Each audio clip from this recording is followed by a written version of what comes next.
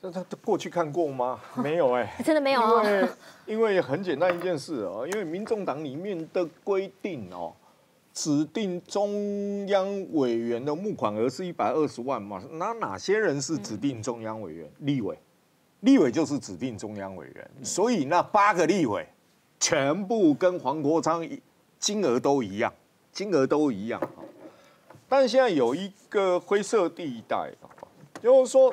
这样的一个募款，到底在法律上允不允许？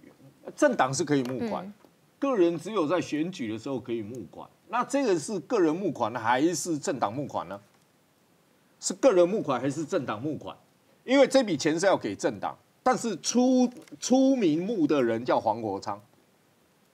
这里面有没有涉及到法律的问题？上公他还说一句话，他在拉斗内的时候，他说：“你们虽然吼你们赞助的叫做台湾民众党，但其实你们支持的是国昌老师哦。”他还强调这一句。所以个人的政治现金只有在选举期间才可以啊。所以这一个里面到底有没有法律的问题？这第一点啊。好，第二点，你现阶段是。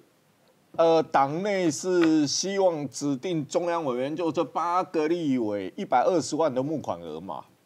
结果现在都是叫支持者付，那直接叫柯文哲就说以后这八个立委的募款额直接增加这个小草的捐献额好了，不然就是小草要入党，党费全部提高好了，呃，不然。你你规定的募款额是要支持者付的话，那这就是一件很奇怪的事。那你就你你就说中央委员负责向支持者募款，改一下，改一下。我上公，我觉得他们很妙，他们当立委一阵子了，改一下。他们规定在这个也就是礼拜天之前要交出这一百二十万，结果在这个 d a y l i g h t 之前才通通都在拉斗内。他们是故意想要创造一种 SOS 超级的。什么？我也是，我我觉得一件事啊，是看到黄国昌做，大家才要跟着做啦。哦。看黄国昌这么快就可以募到一百二十万。老师是因为脸皮薄。好，脸皮薄。其他人更薄。要选县市长，在新店跟建商敬酒吃饭的时候，脸皮都不薄。他岳父也在场，脸皮也不薄。然后他那个以前的金主出事，跟他岳父买房子的时候。对不对？然后要他帮忙的时候，那那是我岳父的事，这是商业纠纷。啊，讲的一副切割很干净。那，你岳父做东请建商吃饭，你在场干嘛？你在场干嘛？巧遇，巧巧遇哦，嗯，巧遇这么久哦。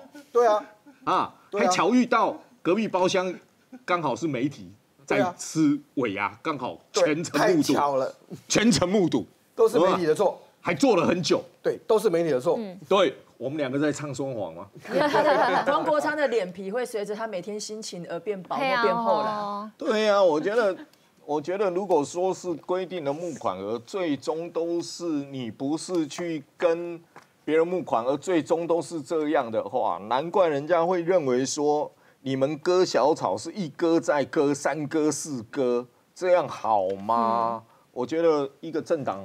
如果你要规定这个样子的话，那你就规定嘛，就直接由柯文哲跟支持者募款就好了嘛，就不要黄国昌他们什么一百二十万，不要这八个例。可是上过民众党的支持者都偏年轻哎，他们你看国昌老师也说三百也好，五百也好，我甚至不希望你给我一千哦，哦脸皮超薄的，哎，可是那些都是小草民的便当钱呢，三百五百。都是便当钱呢，三百五百不是钱，一千才是钱，脸皮薄。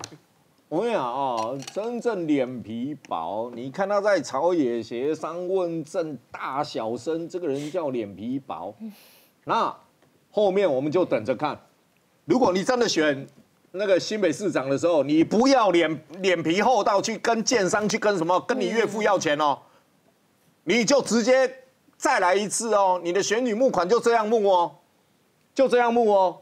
不要去找其他的支持者，只能靠仓粉哦，只能靠仓粉啊！还有啦，人家仓粉仓粉大还是小草大？哦，现阶段出现这个问题，没有黄义忠解释一下，仓粉多还是小草多？目前小草略微领先仓粉，哦，好，那这样子一定会那这样子，对那这样柯 P 稍微心安一点可。是仓粉的战斗力远高于小草。哦那这样小草温和，柯文哲战斗力一则以喜，一则以忧喽。哦，那那那是这样哦